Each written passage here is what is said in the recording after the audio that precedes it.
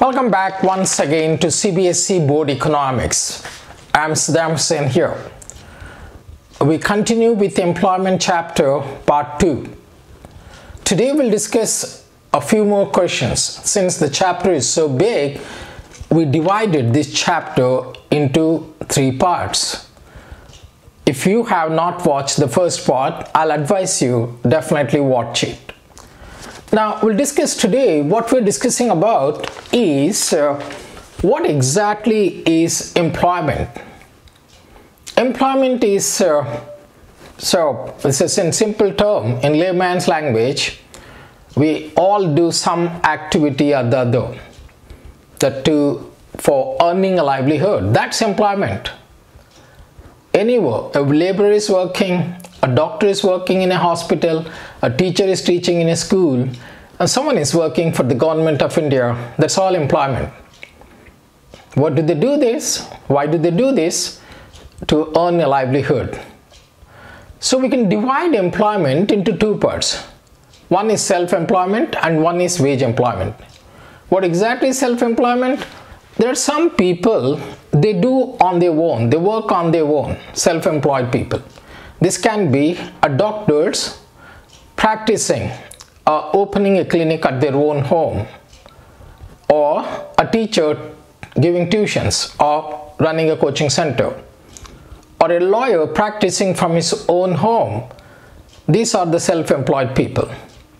They provide all the four factors of production themselves. What are these? Land, labor, capital and entrepreneur and they make their livelihood. This is self-employed people. This can be doctors sitting at home and practicing. This can be lawyers. This can be small shopkeepers. This can be small farmers. And this can be anyone working on its own and providing all the resources himself. That is self-employed. And the next one is wage employment. What exactly is wage employment? There are some people, they work for other people. For example, some people are working in the government of India they are called employees.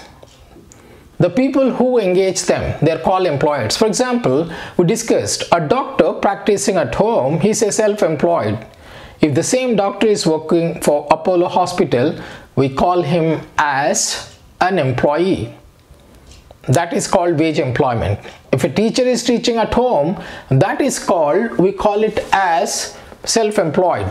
If he is working in some school we call it as or he is an employee of the school and the school is an employer. The school provides him wages. That's wage employment. Now, self-employed people in the total workforce, we have somewhat like 52% of the total workforce. 52% in India are self-employed. And under wage employment, the remaining 48% are wage employed. They're working somewhere or the other.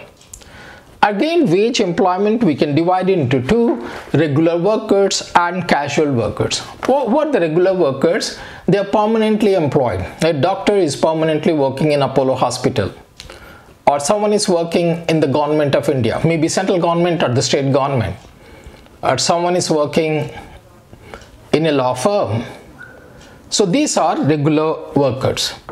So what benefits the regular worker gets? They get a lot many benefits Number one, they get pension.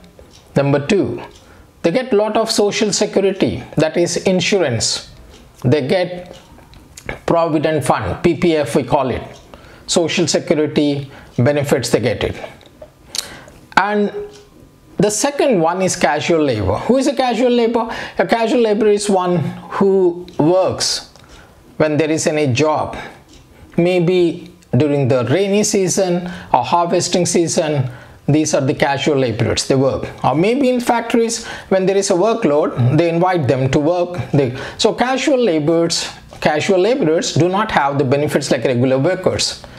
Because they don't get insurance facilities they got uh, they don't get pensions they don't get any other kinds of benefits what the regular workers get I hope you got it. I repeat once again. So that is who is a worker? The worker is one who is doing some job, some activity or the other to earn a livelihood. That means they're contributing something to the GDP of the country. We can divide the workers into two categories. Number one is self-employed people. Self-employed are those who provide all the four factors of production, all the resources, land, labor, capital, entrepreneurship, and they work for themselves. This can be doctors, this can be lawyers, this can be teachers, this can be small shopkeepers, this can be farmers. And the second one is wage employment.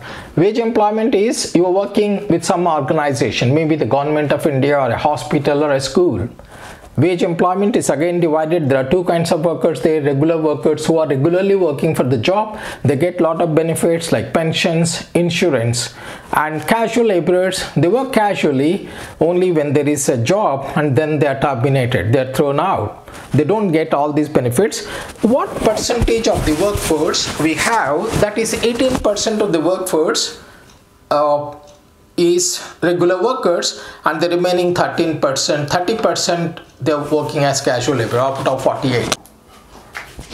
What exactly is jobless growth?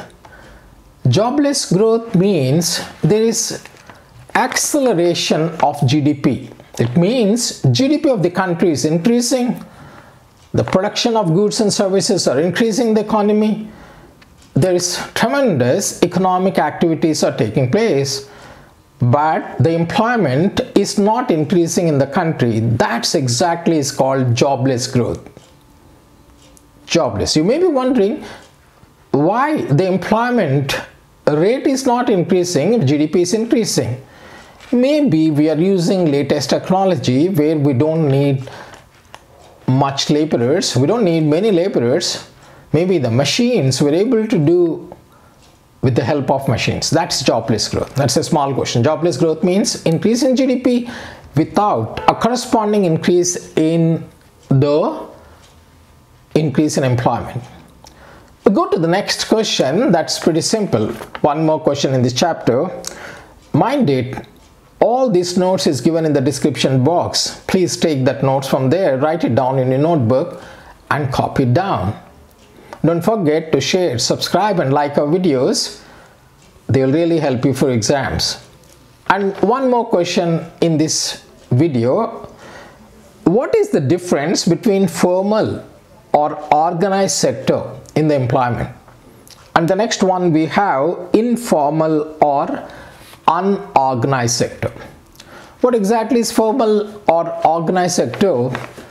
Under formal or organized sector, we have all the units. It may be public sector undertakings public sector units maybe private sector units maybe a factory maybe an office maybe anything maybe a hospital maybe a law firm. What exactly is formal or organized sector? In the formal uh, if there are more than 10 laborers working then we call it as a formal sector more than 10 laborers that's the bottom line. So this can be a hospital this can be a government enterprise this can be public sector enterprise this can be private sector enterprise. If there are more than 10 laborers we call it. In india we have 7% of the workforce is working in the organized sector a formal sector. What are the benefits of working in this sector? This sector is provided by the government you can the laborers or the employees working in this sector can have labor laws they get the social security. They get pensions when they retire. They get other benefits such as provident fund public provident fund and they may get other benefits and they can form their own trade unions and fight for their rights. That is a formal or organized sector. What is an informal sector or which is not organized in this sector they cannot i mean in this sector this can be small shopkeepers this can be small offices this can be small uh, uh, maybe a clinic where there are less than 10 laborers. That's the bottom line. Less than 10 laborers that is informal sector unorganized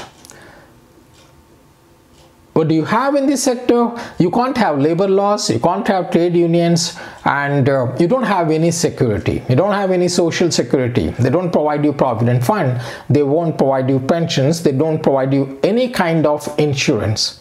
That's about formal and informal organized unorganized sector. 90% of the workforce in India work under informal sector. That's all guys we have for this short video. Don't forget to share, subscribe and like our videos. Till we meet next time, work hard. Thank you guys. Bye-bye.